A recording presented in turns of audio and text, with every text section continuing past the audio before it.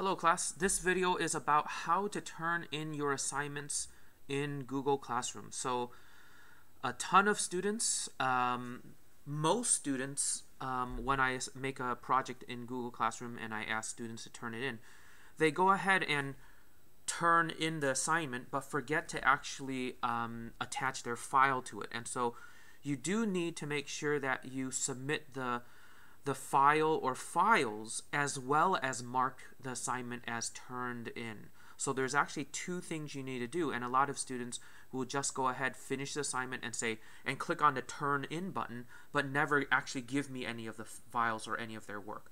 So this um, tutorial is um, just showing how you actually turn in um, how you actually submit your files and turn in your assignment. So there, there's actually two parts. So um, I've just joined this class right here. I've added my uh, fake student account so that I can see exactly what students are seeing. seeing.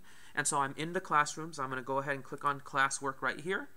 And I have a project right here called the Sample Science Fair Table and Chart project. I'm going to go ahead and click on there.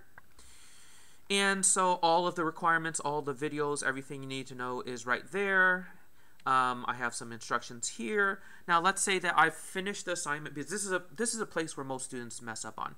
Now I'm done with the assignment. How do I actually give it to Mr. Yang? How do I actually turn it in? So um, I'm gonna number one, I'm gonna click on the view the assignment. And so what's gonna happen here is you're gonna see right here your work. Um, it's assigned most students will go ahead and just press this button right here and say, yep, I'm done with it.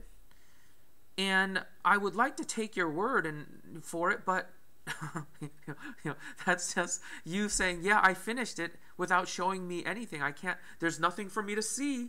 You haven't actually even given me any files so I can actually check it and grade it. There's nothing there. If you click on that button when you're done, you're just saying I'm done, but you haven't given me anything. So you do need to click on this add or create button right here. All right. And it's going to pop up these options here. So it depends on what you're going to do. Are you going to, if you've already finished the assignment, are you going, where did you save it? Are, did you save it to your computer? Well, then you'd click on this button right here and navigate to it. Um, did you do it using Google Drive itself, whether you use um, Google Docs or Google Slides or Google Sheets or something else? Well, then you would click on here.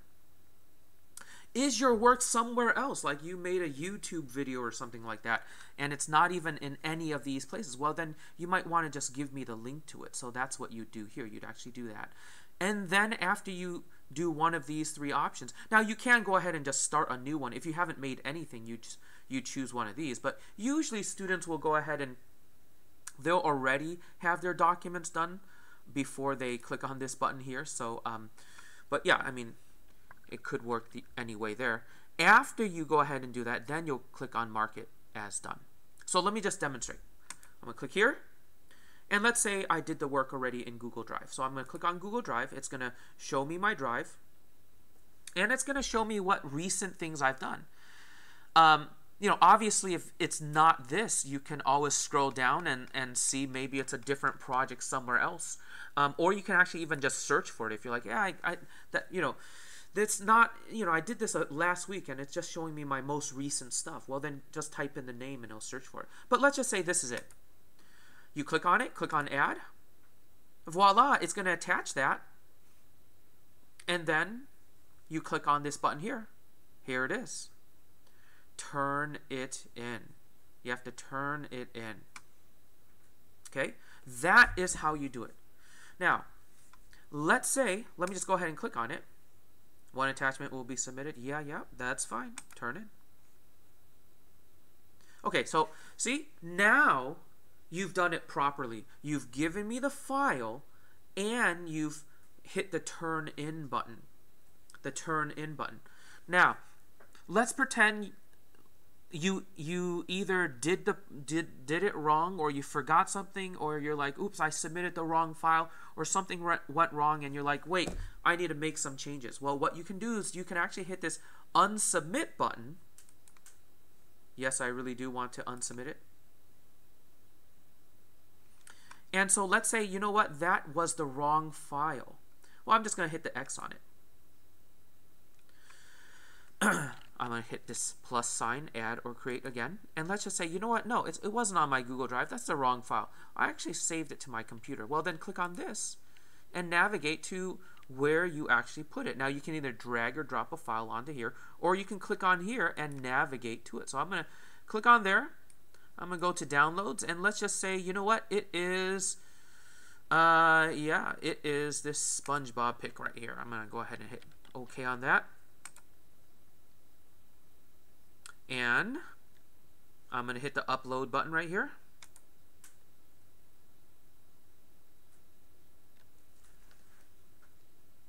Okay, and there it is. And again, you hit the turn in button. The turn in button is the one that you want to hit. And then it will be, I will have the file and it will be marked as completed. So let me hit turn in. And yes, I really do want to turn that in even though that's the wrong file, but you get the idea. So that's what you need to do. Make sure you do that. Make sure you don't just hit the, um, you know, the, the turn in button without actually giving me a file. Okay, good luck with that. Feel free to ask me any questions, um, whether on Google Classrooms or email me if you have any questions or need any help. Okay, God bless. Talk to you later.